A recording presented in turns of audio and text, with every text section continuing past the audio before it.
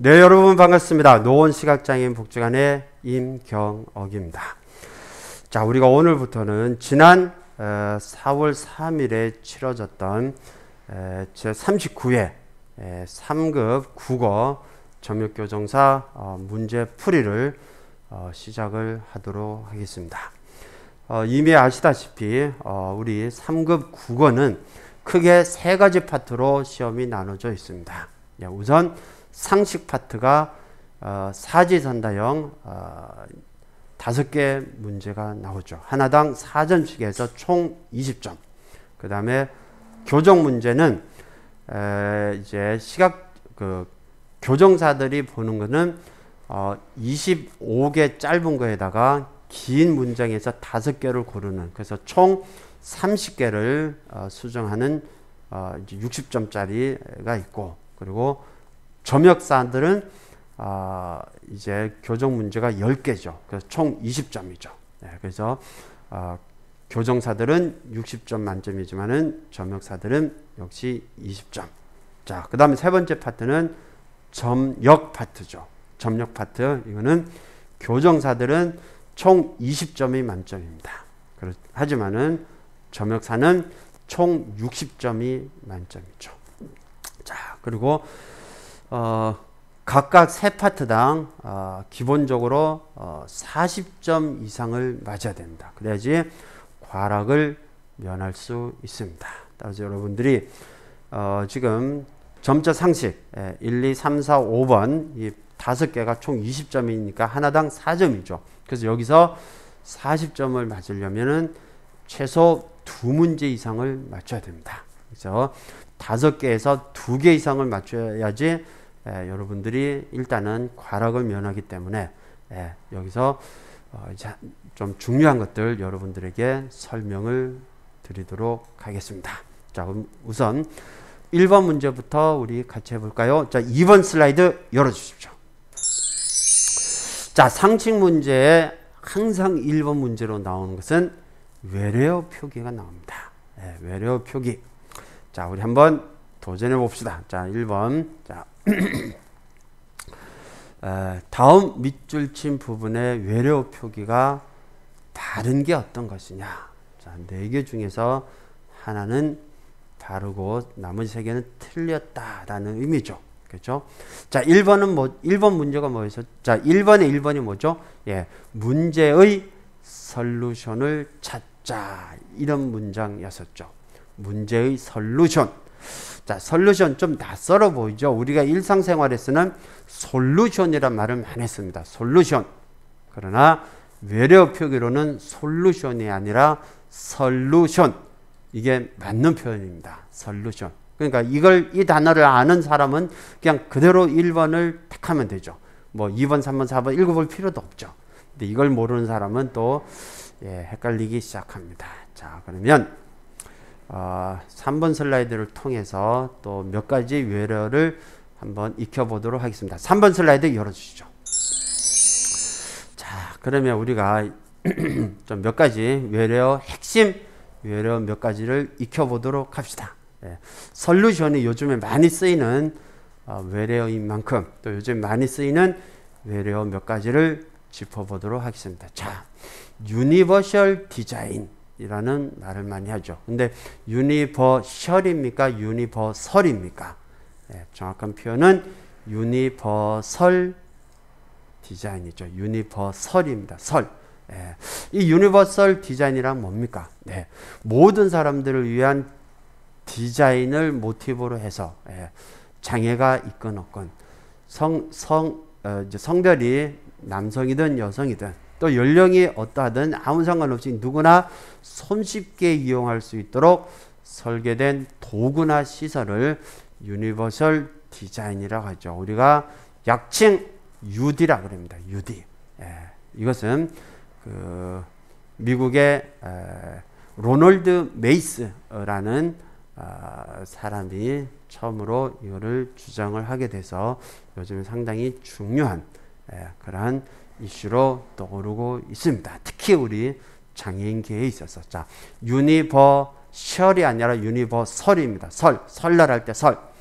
자, 요거랑 같이 우리가 또 혼돈해서는 안 되는 거는 예, 스페셜 메뉴 이런 거 있죠. 우리가 식당에 갔을 때.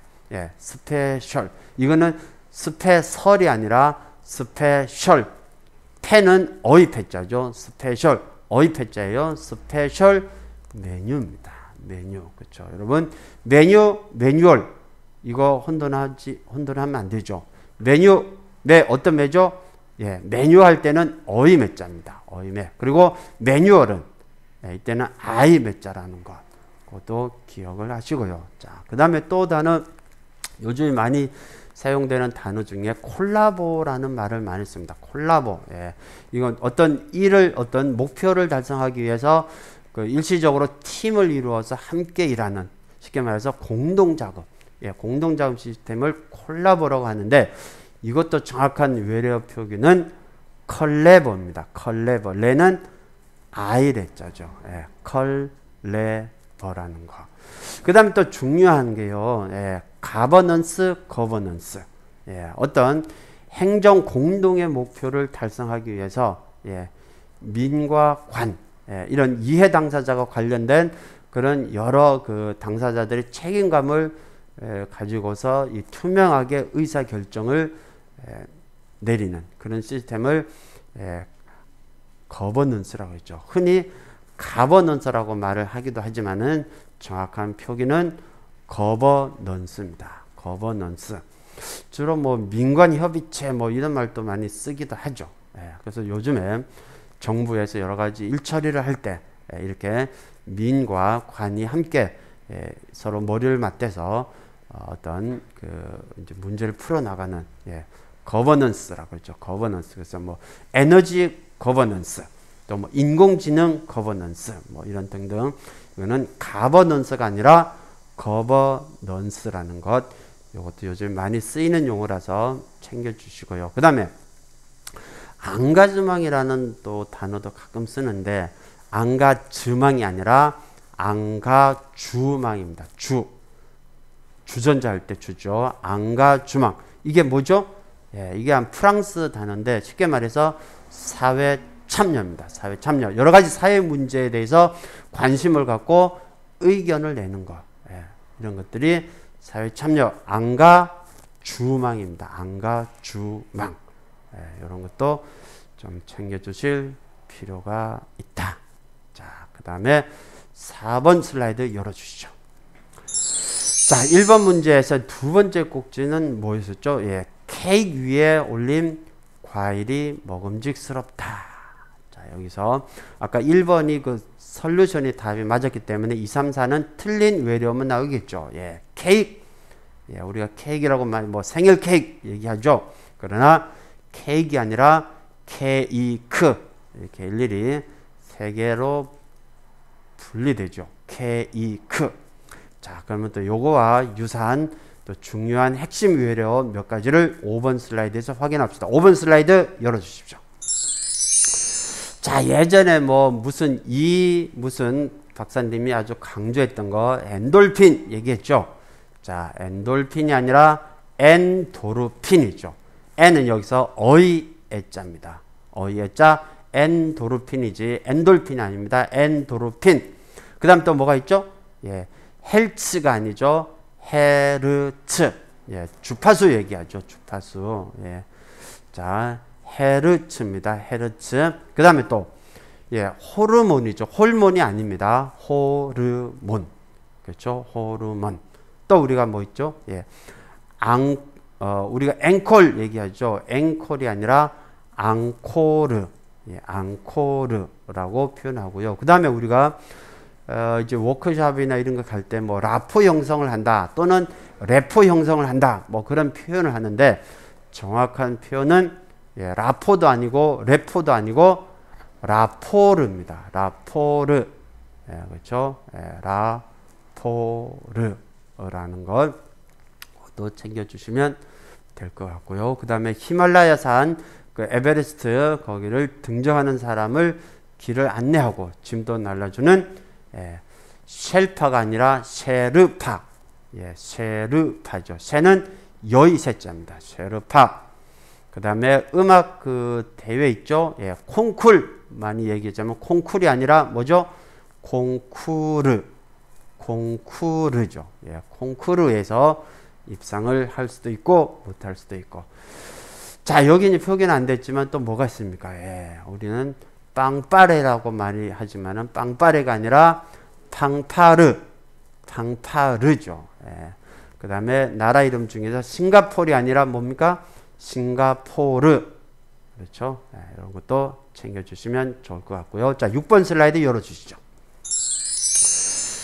자, 좀 더 살피죠. 예. 트롯. 야, 이번에 미스터 트롯, 미스 트롯 얘기하지만은 정확한 표기는 트로트입니다. 트로트. 로에는 받침이 없습니다. 트로트. 그 다음에 악기 중에 예, 플룻이라고 얘기하지만 플루트죠. 플루트. 예, 그런 거. 그 다음에 스카웃이 아니라 스카우트. 그렇죠. 스카우트. 그 다음에 마스콧이 아니라 마스코트. 마스코트죠. 예, 요거랑 같이 기억, 기억해야 될 거는 보이코트가 아니라 보이콧이죠. 예, 보이콧. 예, 스카우트. 예, 그 다음에 또 우리 신용카드는 뭐죠? 예, 크레딧 카드가 아니라 크레디트 카드. 크레디트 카드. 그렇죠? 그다음에 윤곽. 이건 아웃라인이 아니라 아우트라인. 아우트라인이죠. 그다음에 콘셉이 아니라 콘셉트.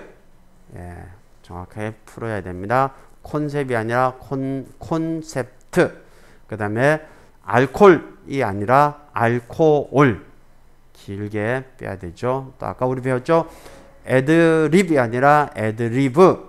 예, 즉흥적으로 애드리브. 그 다음에 강아지 중에서 불독이 아니라 불도그라고 표현한다는 것.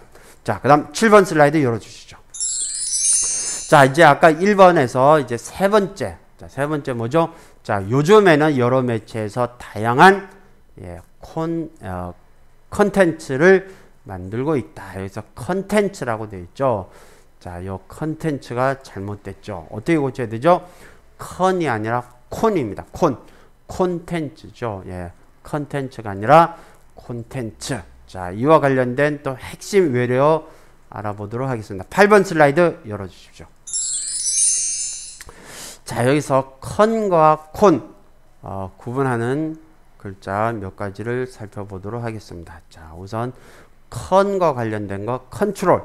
예, 조절하는 거죠. 컨트롤이죠. 콘트롤이 아니라 컨트롤. 컨이죠. 또 컨이 뭐가 있죠? 에어컨. 에어컨. 또 리모컨.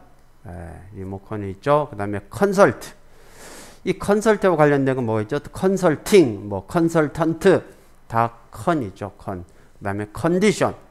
예, 그 다음에 컨소시엄. 예, 그렇죠. 그런 것들. 컨테이너 박스. 그죠? 그 다음에 컨베이어 시스템. 뭐, 전부 다 컨자죠. 그 다음에 또 콘으로 시작하는 거 몇 개 볼까요? 예, 콘텐츠. 예, 콘텐츠. 아까 했죠? 그 다음에. 콘퍼런스. 예, 그 다음에, 콘셉트. 예, 콘셉트. 예, 그렇죠? 콘셉트, 콘텐츠. 그 다음에 콘테스트. 예, 콘크리트. 예, 콘서트. 자, 이런 것들이 있다라는 것 예, 아시고 9번 슬라이드 열어주시죠.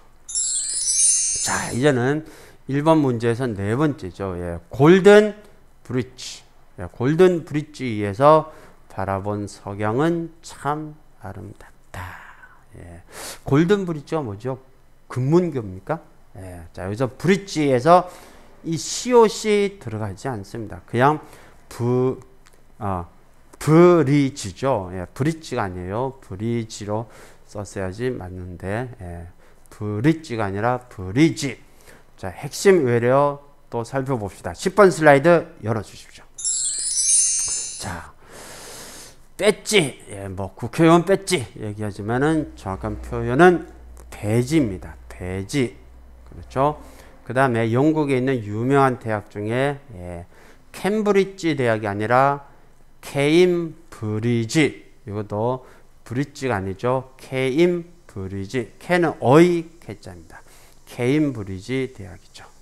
자, 그 다음에 우리가 치과에 갔을 때 1년에 한 번씩은 스케일링이 어, 의료보험이 되죠. 근데 스케일링이라고 말을 많이 하지만은 정확한 표기는 스케일링. 예, 스케일링. 캐는 어이 캐자입니다. 스케일링을 하는 거죠. 스케일링. 그 치석을 제거하는.